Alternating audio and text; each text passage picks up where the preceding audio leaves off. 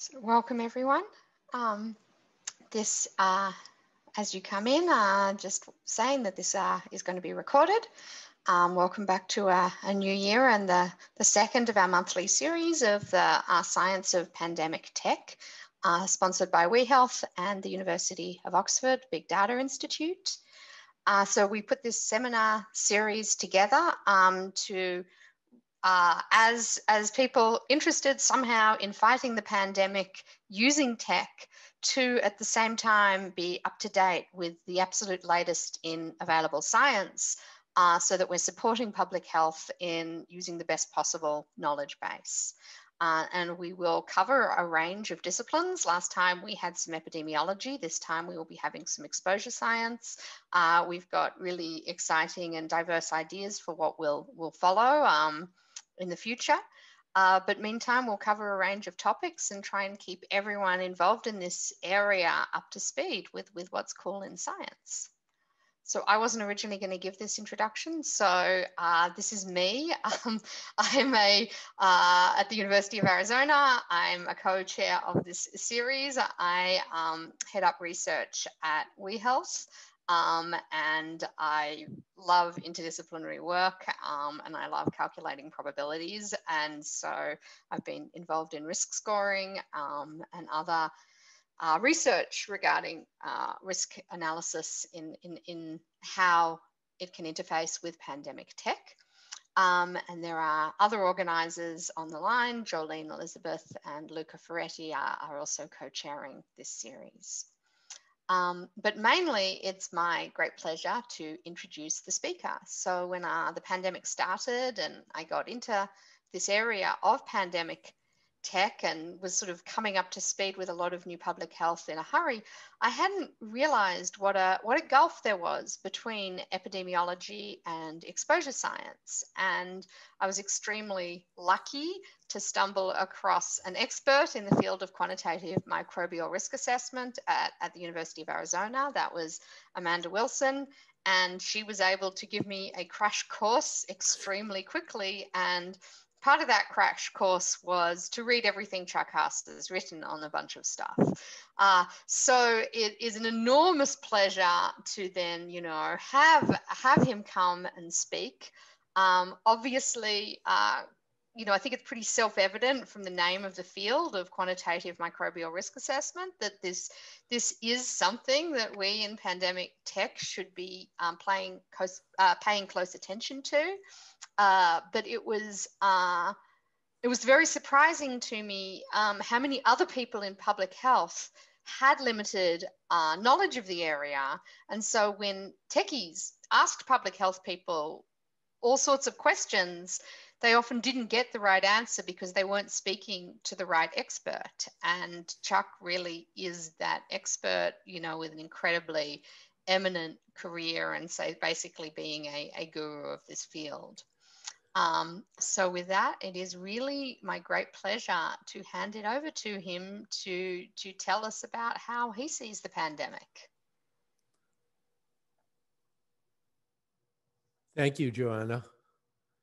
Uh, you need to stop screen sharing so I can screen share. There we go.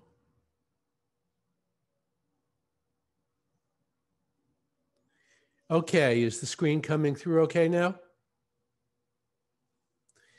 Looks great. Okay, so what I want to do is talk to you about how um, what we do in quantitative microbial risk assessment can help inform understanding and control ultimately of the COVID 19 uh, pandemic.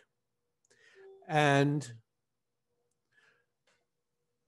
I'll start out with an introduction. I'll go through the framework for quantitative microbial risk assessment, including elements of dose response and exposure assessment. I'll cover some questions that have been asked in the context of SARS CoV 2 um, one being, what is the significance of RNA measurements? What are the implications for ventilation and physical distancing? How clean is clean? And then finally, the issue of fomites. So, quantitative microbial risk assessment is a mathematical modeling approach where we desire to estimate the risk of infection and illness when a population is exposed to microorganisms in the environment. And it has five separate elements hazard ID, dose response, exposure assessment, risk characterization, and risk management. And I'll be focusing primarily on the dose response and exposure assessment pieces of this field. Um, before I do that, this this crossed my um, screen last week, and I thought I'd put it up. This is from the SAGE committee in the UK, um, which put up this very very detailed process diagram of COVID nineteen transmission from an infector to a susceptible, and my purpose of, of showing this figure is not to emphasize all the boxes but to just call your attention uh, to the box in the middle. On the left, we have the infected person. On the right, we have a susceptible population. And in the middle, we have the environment. And by training, I'm an environmental engineer. Why are environmental engineers and environmental scientists relevant to this problem? Because to get from the infected to the susceptible, there has to be fate and transport through the environment. And that's really what we specialize in for whole categories of pollutants, microorganisms certainly being one of them. So to get to dose response, um, I want to put up this quote from over 60 years ago now by Meynell and Stocker. And it really outlines the dichotomy that exists and how people think about the relationship between exposure to microorganisms and likelihood of an adverse effect. Uh, there are um, two competing hypotheses that they outlined 60 some odd years ago. One is the hypothesis of, hypothesis of independent action. That is, at a microscopic level, it only takes one hit for an adverse effect to occur. Now, you may be throwing a lot of hits at a susceptible, but only some of them hit the target. However, if one and only one hits the, if only one hits the target, that suffices. The competing hypothesis is that is the cumulative damage of many, many, many hits that each in and of themselves are imperfect to cause the damage. And, and in this paper by Meynell and Stocker, uh, which is a very readable paper, um, they actually did some experimentation with bacteria and demonstrated, in fact, that hypothesis of independent action was the one that appeared to be relevant and useful and descriptive of the situation. And so our dose response analysis stems from this concept of independent action. The simplest dose response relationship that we can have is the exponential on the left and I promise these are the only two equations that will be in my talk. The exponential is derived if you have a random or a Poisson distribution of organisms in replicate doses or exposures, that one organism is capable of colonizing to produce an adverse effect if it arrives at an appropriate site. This is the independent action assumption. And that each organism has an independent and identical probability of surviving to reach and colonize at an appropriate site. So if you combine those three distributions, the likelihood or the proportion of sub- subjects in the population that are administered an average dose D that have the adverse effect is given by the exponential on the bottom of the first column, with K being the probability of an individual organism surviving and colonizing. A slightly more complicated dose response model is the beta Poisson, which arises from the same underlying assumptions as the exponential, but we allow the survival probabilities themselves to have a statistical distribution, namely the beta distribution. And with that, the approximate solution to that is given by the equation on the bottom of the second column. The exact solution is actually a confluent hypergeometric function, but in most cases, this approximation suffices. And so with those two models, we've been able to fit all microbial dose response relationships that we've ever examined. And I'll give you some examples in the next slide. But just to visualize what those two models mean, uh, both of these slides represent a plot of the proportion of a population with the adverse effect on the y-axis and the dose normalized by the N50, the 50% effective dose on the x-axis with the exponential given in the dashed black lines and then the beta Poisson with different values of the alpha given by the various solid lines. And if you simply look at the left-hand panel at the moment, you would be tempted to say, well, gee, maybe there's a threshold. But in fact, if you replot those same curves on a log-log scale, you see that at low dose, there is no threshold in the sense that there's no average population exposure at which the expected proportion of subjects is equal to zero.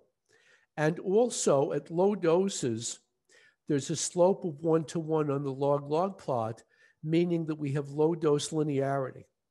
So independent action dose response theory says that there will be no true threshold and there's a linear low dose response relationship. In other words, there's no such thing as a minimal infectious dose. And that's a concept that, I mean, I've been doing microbial dose response now for close to 40 years. and the minimal infectious dose um, idea keeps on rising to the surface when every new instance of an important microorganism comes to fore.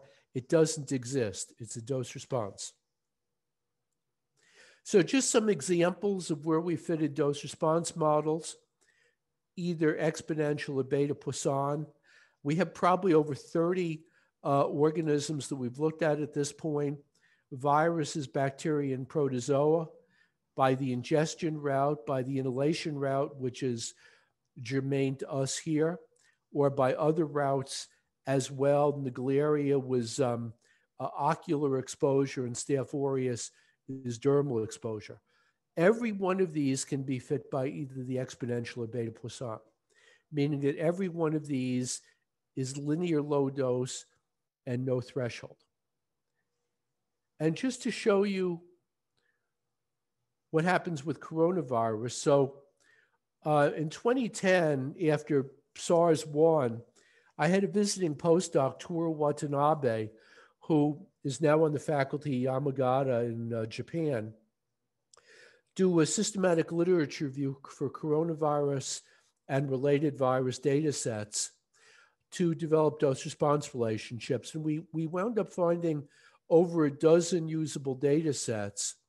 The one on the right is one example, which is my um, working example that I'm using for SARS CoV 2 risk analysis at this point. Uh, data on human uh, coronavirus 229E by nasal instillation, and it fits an exponential dose response relationship. The symbols are the data points, and the uh, red curve is the fitted exponential with a constant of 0.054, meaning essentially that about there's a 1 in 20 probability that an individual coronavirus 229E, when exposed to a human, would survive and colonize and grow to produce an adverse effect. And I'll give you the citation to a preprint on this. This is now currently in revision. So, say some microorganisms get into the environment, a room, for example. What happens within the venue of a room? Well, this was some simulations that another student of mine, Shamia Haq, uh, did about a decade ago. Uh, you see a, um, a little magenta dot at the bottom of uh, each of those figures. We assume a large number of five micron dry aerosols are released with zero velocity at that location. This was motivated by the 2001 anthrax situation. So, simulating an envelope being opened perhaps within a room. And then we did computational fluid dynamics using um, Eulerian CFD to model the fluid flow in the room space and Lagrangian particle tracking to simulate the motion of five micron particles as they migrate within the room space. Um, and in this particular room, and you see a 2D slice at the center line here, the magenta uh, trails and the magenta dots simulate the particles on the left hand after only about four minutes post release. And on the right hand, um, two uh, excuse me, yeah, four minutes post release. The right hand one after uh, 30 minutes or so post released. The right hand one represents uh, the time required for three air changes in the room. So, a couple of things that you see here. First of all, there's rapid dispersion of particles within the room due to velocity flow of the room ventilation. The fresh air is coming in at the bottom left, the exhaust air goes out on the upper right. And even after three residence times, there's significant dispersion of particles remaining in the room um, above the flow of ventilation remaining. And so imagine an individual might be exposed to that room air this might represent considerable exposure. Note also in both panels, um, there's evidence of significant heterogeneity. If you look at the upper left corner of the right hand panel, the concentration in that corner is greater than, for example, the concentration in the lower right. So, complete mixing, while it may be a, a, an important approximation, is not a description of the exact state of nature in a ventilated room. And the other aspect is that the exposure far from a source, remember that magenta um, square at the bottom is where the initial charge of aerosol comes from. Exposure far from the source may still be significant and may be possibly as much as near the source. Now, this is an interesting uh, paper. As far as I know, it only exists in preprint. I don't think it's been published. So the, the Guangzhou restaurant outbreak of COVID 19 occurred um, in March uh, of the um, uh, outbreak in China. And this was a cluster of people primarily within that blue zone at the upper left of the room. What Li et al. did was did did computational fluid dynamic, dynamic modeling of the ventilation in that room. There was uh, air being introduced from the upper right, as is common in Asia. There was no fresh air makeup in this room. It was simply a recirculation with cooling and conditioning, and no filtration to speak of as well. And so, um, sort of toward the left hand third, you see an individual seated at a table in blue. That was the presumptive index case, and everybody else in that zone in red converted um, symptomatically to COVID 19. And so this presents a strong case that it was room ventilation that resulted in transmission far field from the individual index case uh, that resulted in the infection. And everybody else outside that recirculating zone of the air conditioning had no apparent um, adverse disease outcomes. So it was confined, confined simply to the recirculation of fine droplets and aerosols that resulted in spread from the index patient to the other cases in that restaurant outbreak. Now, a second question I've been, um, you know, asked to comment on is how about RNA? There have been a lot of measurements of SARS CoV 2 RNA, not just in clinical samples, but in environmental samples. Um, measurement of the RNA is not synonymous with infectious viable virus. This figure on the right, which again, as far, as far as I know, has not yet been published, but is in preprint, was a meta-analysis of uh, clinical samples during the first four or five months of the outbreak. And the authors took data where there was attempts to culture the virus from the clinical sample, as well as where the RNA copies per ml of viral transport fluid were measured. And basically, until you get to very, very high RNA copy number, maybe 10 to the 6th or 10 to the 7th, there's a very low probability of finding infectious virus in clinical samples. Now, when you get to the environment, environmental transport may reduce the ratio of viable virus to culturable RNA. And it's the history of the sample being transported in the environment that will affect that ratio. And we really don't have data to say much beyond that. Uh, the problem is sampling for cultural viruses in the environment requires very careful sample collection procedures. And there are perhaps only half a dozen laboratories around the world that are capable of doing such samples from, um, from sampling air in clinical or environmental uh, venues.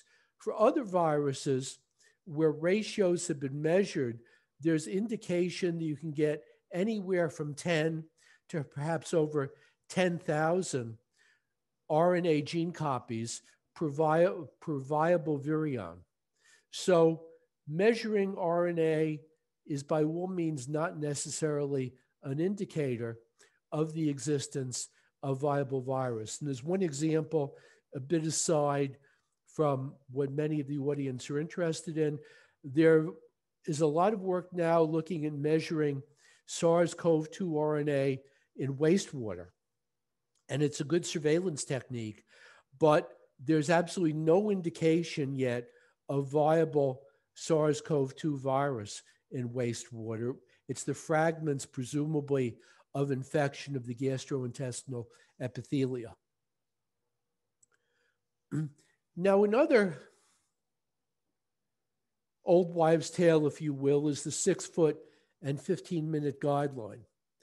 And I really can't do any better than copying what Jones and et al. wrote um, in the middle of last year as to how the two meter or the six foot rule originated. And ultimately, it goes back to some very, very crude experiments that were done in 1897 by Flügge, in which they took culture plates and put them at various distances from an emitter, uh, emitting bacteria.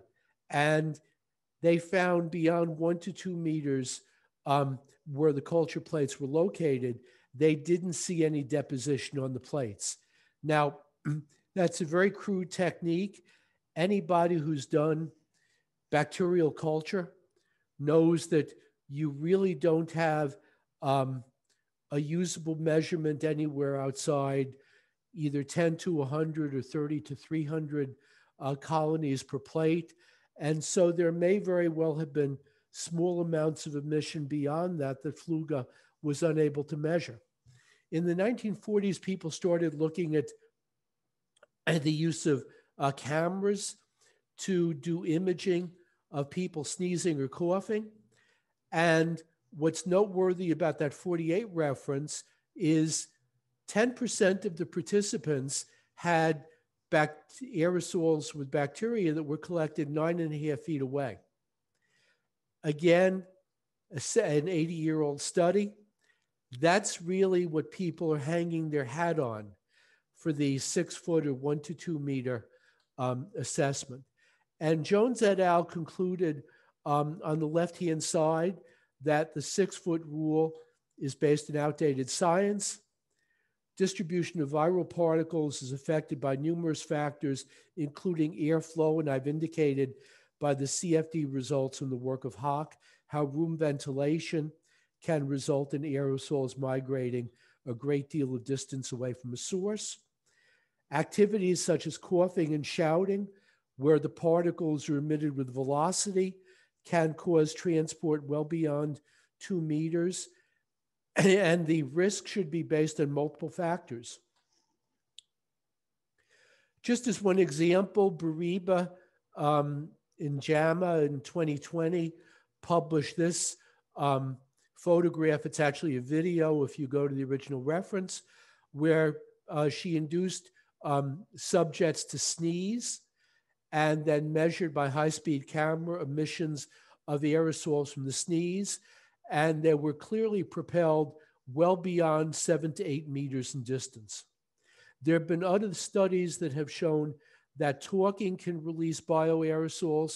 In fact, in a, in a paper published um, late last year, there was a review of so called um, aerosol generating pr- uh, procedures, and it's been very controversial in social media amongst the medical community.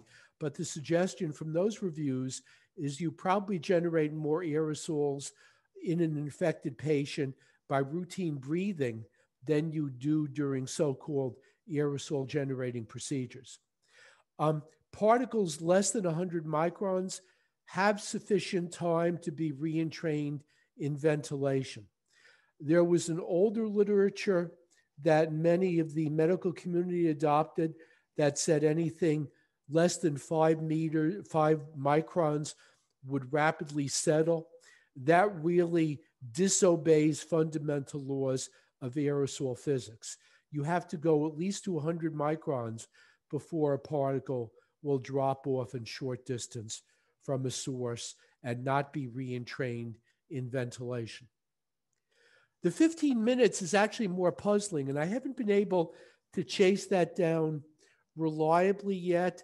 There are some older studies on smallpox where smallpox was transmitted from a patient with only a 15 minute exposure.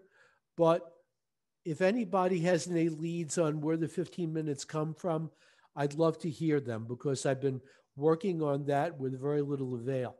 Now, what do we do if six feet and 15 minutes are not good enough? Well, the Jones et al. paper, and I'll give you the full citation to this in my last slide, came out with this um, uh, hazard matrix. And I tend not to be a big believer in hazard matrices for a lot of technical reasons, but they're a useful way to communicate complex levels of risk that are multi multifactorial in nature.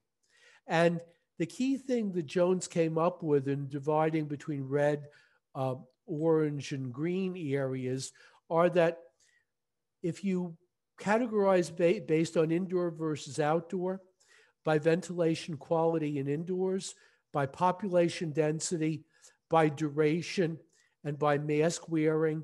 This is a useful way to assess the likely degree of risk um, to COVID 19 in various circumstances. How would we get more quantitative? Well, if I think of an ideal, you know, what I'd like to have is some measurement of time integrated exposure. So if you imagine that we had the availability of a way to measure concentration in the location where an individual is breathing and multiply their concentration times the breathing rate and then integrate over time to get an integrated daily dose, let's say, we could now use a dose response curve to project risk. Is this so far fetched? I don't know, but this is what's done all the time in radiation dosimetry. And in fact, it's done in industrial hygiene in looking at exposure to a number of toxic gases where there are uh, personal exposure sensors that are used and uh, measured on a daily basis to assess exposure and risk in hazardous environments. How do we know how clean is clean or how clean is safe?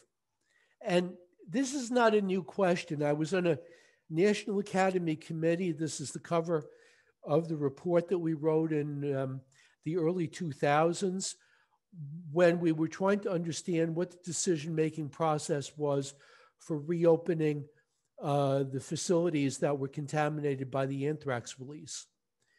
We can never get to zero risk. We need to balance marginal risks and marginal benefits. What this means is either directly or indirectly, we need to value the consequences that might remain after an attempted remediation.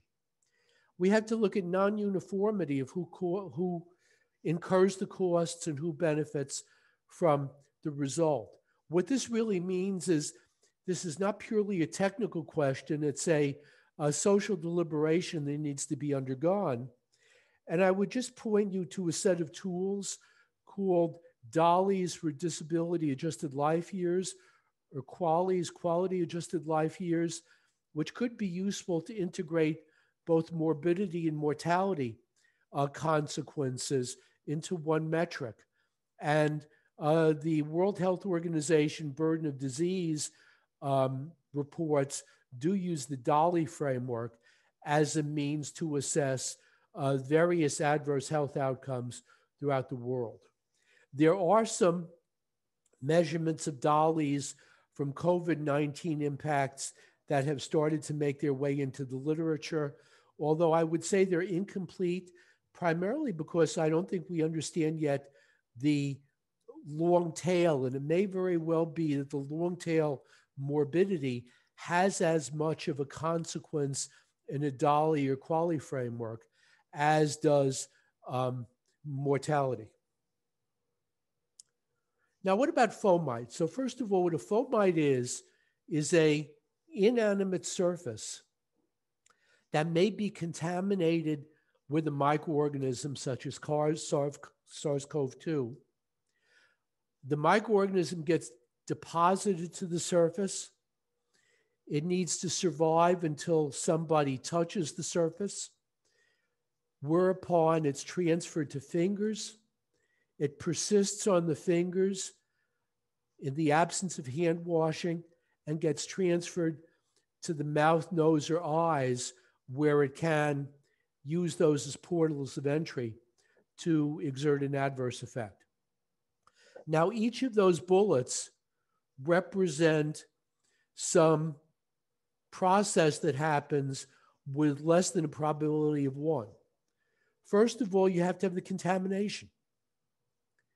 There has to be survival. And the literature suggesting, depending on the surface, hours to maybe a couple of days. There needs to be transference to fingers. A lot of data shows you may only get 10% transference of organisms on the surface to fingers. What is the persistence on fingers? And then what is the transference to mouth, nose, and eyes? And again, that might only be 10 or 20%. Now, as I was putting the outline of this paper together, there was a very important paper that appeared about um, two weeks ago in Environmental Science and Technology Letters by a um, uh, international group. And what they did was they looked at a town in Massachusetts during the first wave of the outbreak in 2020. They measured high touch surfaces for RNA of SARS CoV 2 they did incorporate estimates for potential ratios of viable virus to RNA uh, gene copies, and they did an overall QMRA for this scenario, and they estimated the risk of infection from touching a contaminated surface was low, less than 5 in 10,000 by QMRA, suggesting that fomites play a minimal role in SARS CoV 2 community transmission. And almost contemporaneously with this, um, I, Joe Allen at Harvard, and Lindsay Marr at Virginia Tech put out an op ed in the Washington Post essentially saying that we're devoting too much to excessive cleaning of surfaces as a response to the COVID 19 outbreak. Now, I want to state two things that are very important. First of all, we're not saying that routine cleaning should be dismissed. That still remains important as you would ordinarily before the COVID 19 outbreak. Hand washing still remains important. And our editorial, our op ed was focused solely on community based uh, situations and not hospital health care and long term care facilities. And so, are we devoting too much time in those settings to surface cleaning? I believe so. Hand washing is the main barrier against that low risk but non zero exposure route. So, with that, I'll conclude by saying QMRA is an important tool and it's complementary to epidemiological methods.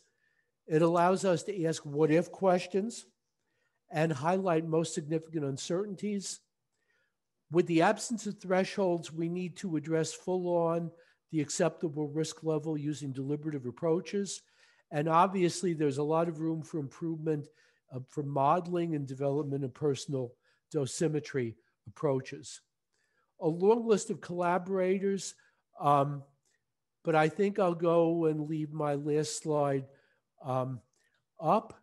And those of you want, that want to get a screenshot of some of the references, feel free. These are a number of the papers of mine that I've cited, mine my group, and the Jones paper with that risk matrix at the very bottom. So with that, let me stop sharing and I look forward to taking your questions. Great. So I'll just uh, uh, bring up the first two questions quickly. The first question was, will there be a recording available? you know that this was an excellent presentation and the answer, which I will give is yes, a recording will be available. Um, and uh, Jolene has posted to the chat the link that you can go to to sign up for the, the mailing, which will include links to the recording once it is available. We're still doing a few things on the tech side to make everything work smoothly on YouTube and whatever, but definitely recording is coming out. So that's the first question. Um, the second question is about the personal dosimetry from Adam Fowler. Um, so are there existing risk formulae we can apply given you know that we collect all of this risk estimation data?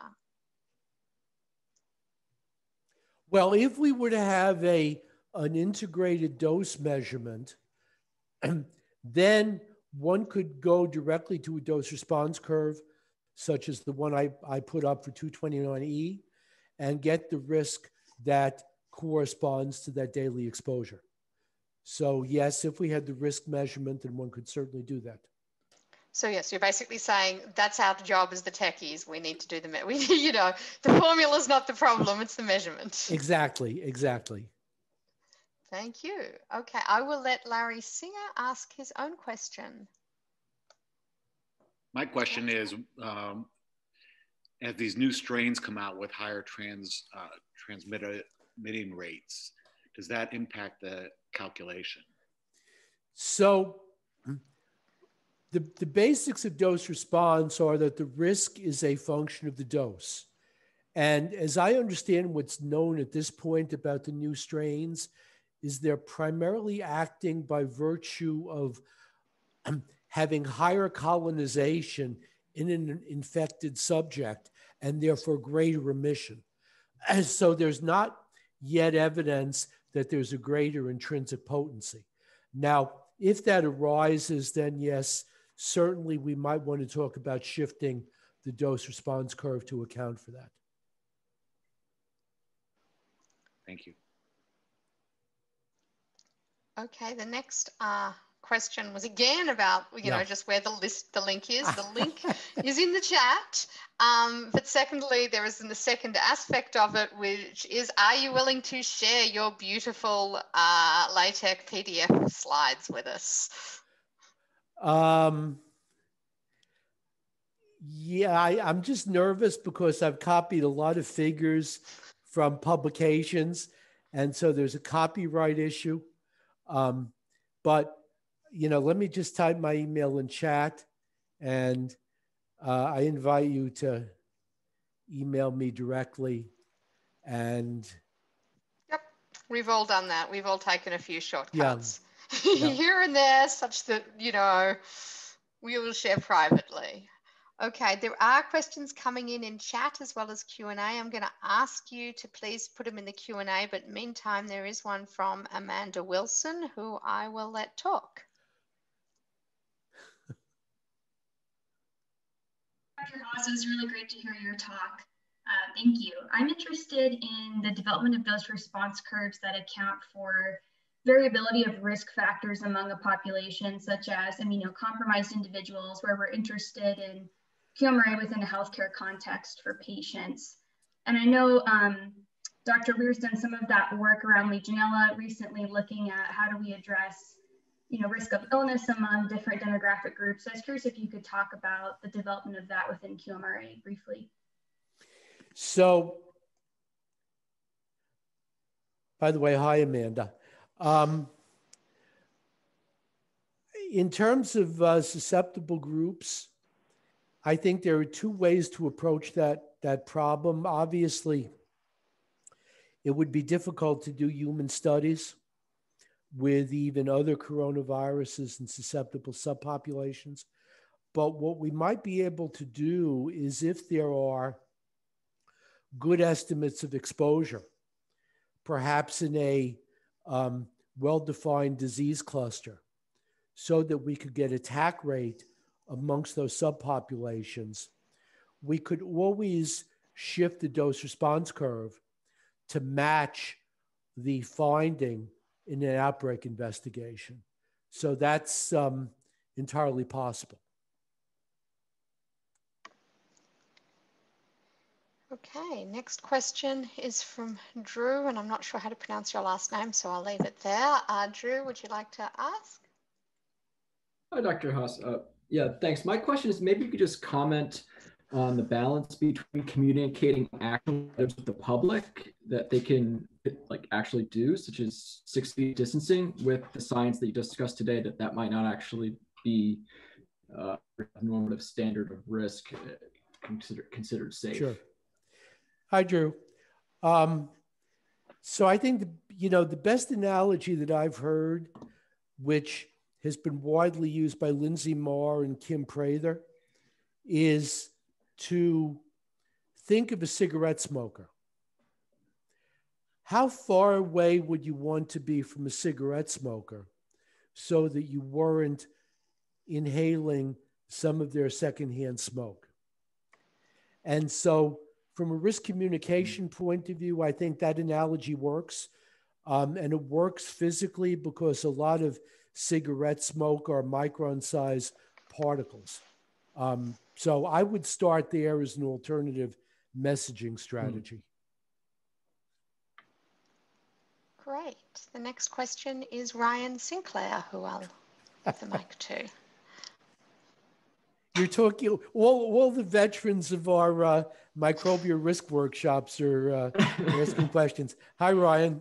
Oh, hi there. Hey, um, nice talk. I was just wondering about what you think about the priority for a need to do more of these naturalistic observational studies of people wearing masks in public, thinking about the, the QMRA in reference to, you know, um, transmission in, in public areas.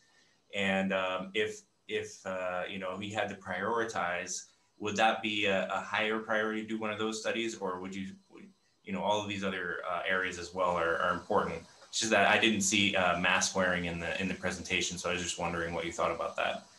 Well, no, I think I think mask wearing is is clearly very important. It's a um, you know, it's a barrier. You know, the one figure I didn't put up, which I was tempted to, um, you know, Ian Mackay from Australia has developed his Swiss cheese model, and you really need to approach um, control of transmission by thinking of multiple layers of Swiss cheese, each being a separate barrier.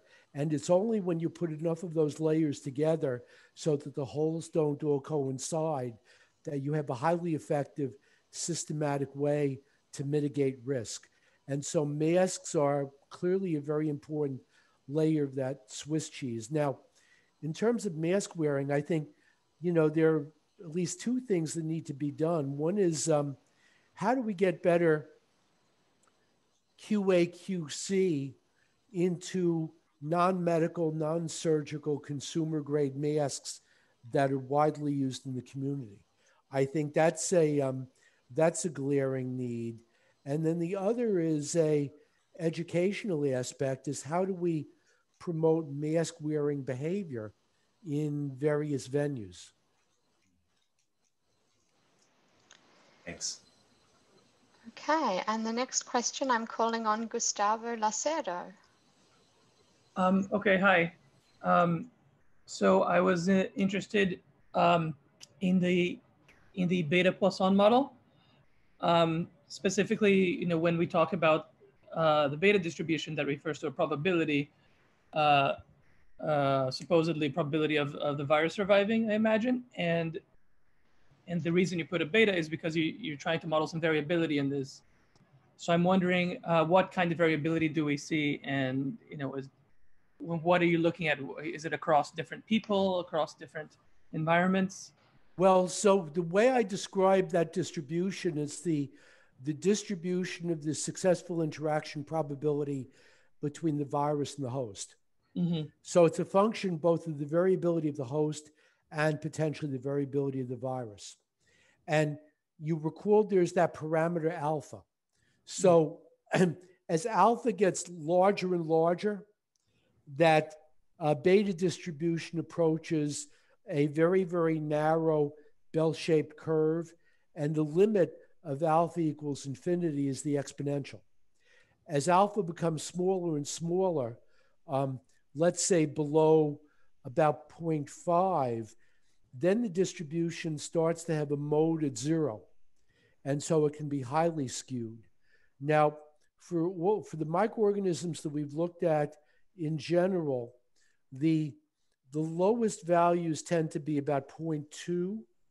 So you're not getting to the extremely skewed behavior, the beta distribution, only moderately skewed. So it's either symmetric or slightly um, right tailed. And I'm wondering if there's any insights we can get, you know, b- based on the shape of this uh, beta distribution of the fitted beta distribution. I, you know, I I think that's I think that's a, a wonderful point, and um, you know whether it reflects something that we can ascribe to the host or to the pathogen remains unknown. Okay.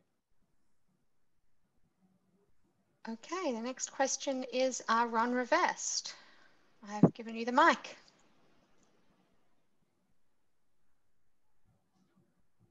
I think I've given you the mic. Can you hear me now? Yes. Yeah. Okay, good. Um, yeah, you asked for dosimeters. A number of us have been working on Bluetooth-based smartphone uh, apps for measuring distances and so on too, uh, as, a, as a proxy for measuring dose. And I was wondering if you had any comments on, on that line of research and thinking uh, or suggestions for making it work well. Well, you, you know, um, and when I had my uh, practice run through with Joanna last week, um, you know, one of the things that occurred to me is clearly, at least in the indoor environment, um, a key aspect of dosimetry is going to be the quality of ventilation in the room. And, you know, what is the opportunity to develop smart ventilation systems that could signal to a dosimeter what the quality of ventilation is that an individual is being exposed to. So, you know, that's that's one thing that that occurred to me, and I don't know the degree that's being looked at, but um, you know, that might be an interesting area to start thinking about just comment. I hope there are people from Google and Apple here who will uh, who will allow the um, anonymous collection of uh, ventilation information from beacons. That would be very, very, very useful for risk assessment if that were allowed. Sorry, I have to put that plug in. Thank you, Chuck. Um, all right, and another question is from Kelly Reynolds. Um,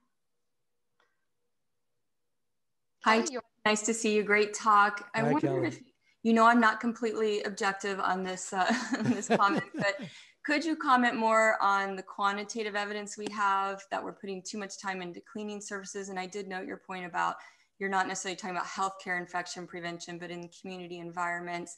But you know, you mentioned the Swiss cheese model, and as a member of the community, I can certainly clean my surfaces and wash my hands, but I don't have a whole lot of control over ventilation in different environments. And I'm looking at next week, the University of Arizona is opening classes and we're getting ready to teach in person with the six foot distancing and wearing masks. And just wonder if you could talk about what we know relative to infection control interventions and any quantitative evidence of their relative efficacy.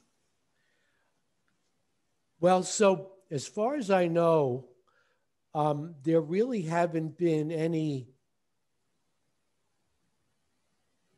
trials with and without fomite control surface cleaning for SARS-CoV-2. Um, you know, as you probably, I'm sure you know, Kelly, there have been such studies for influenza, mm-hmm. and it seems to be a mixed bag in that case. Um, I, you know, my, my comment is simply based on the following. If, you know, if you had a million dollars to spend at UA to reduce the risk, how much of it would be better spent on ventilation, PPE, and so forth versus having all the uh, custodial staff do hourly cleaning of every touch surface? And I would argue that the former is probably money much better spent than the latter.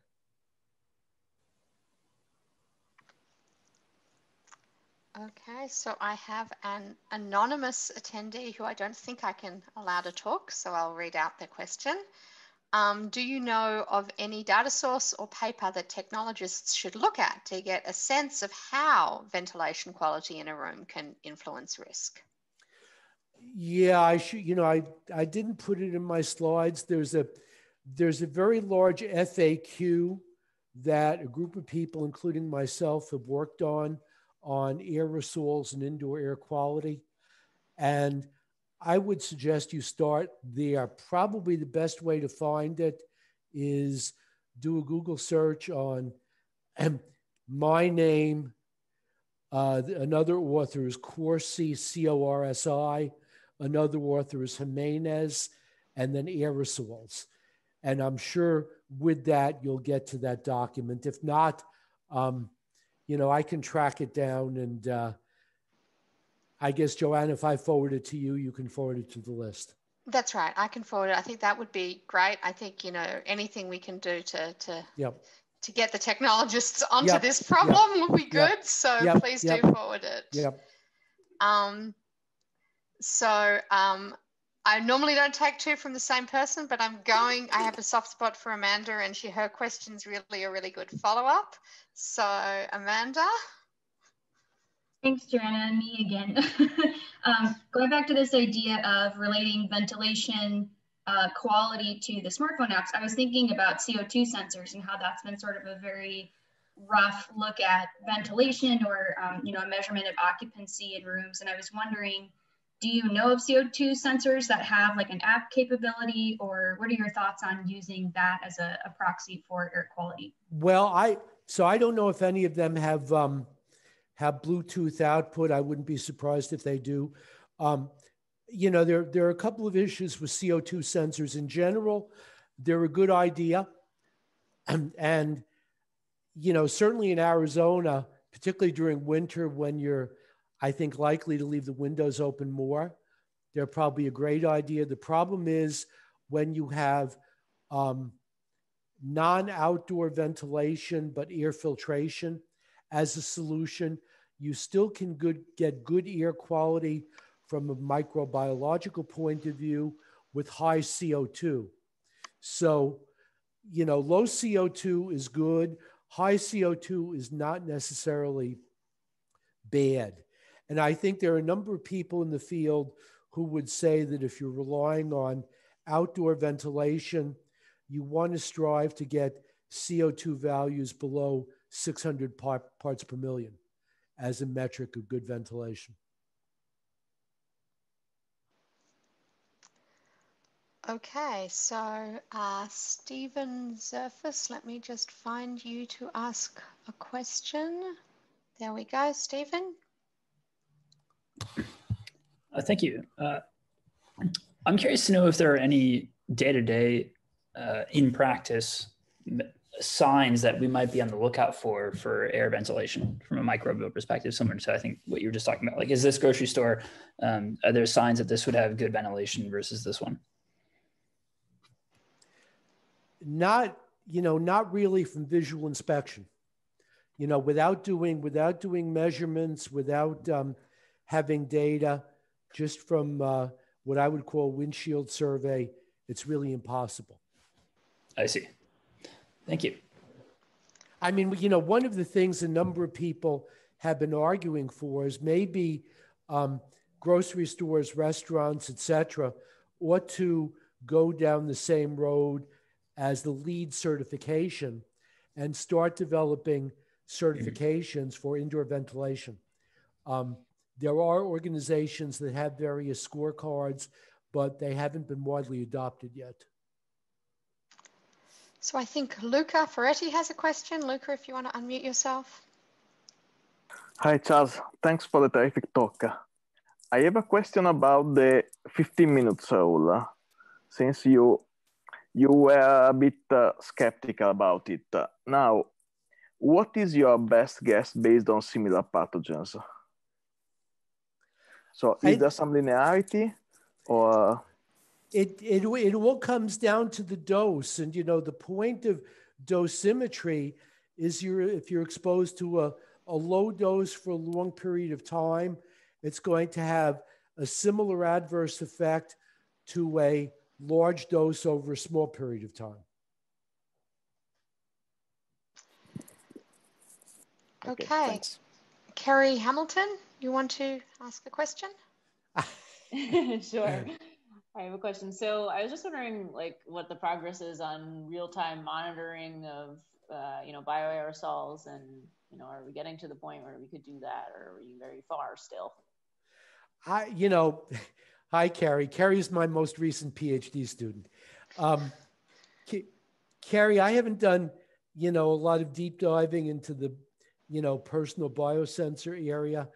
Um, you know, I mean, ATP obviously isn't going to work for viruses.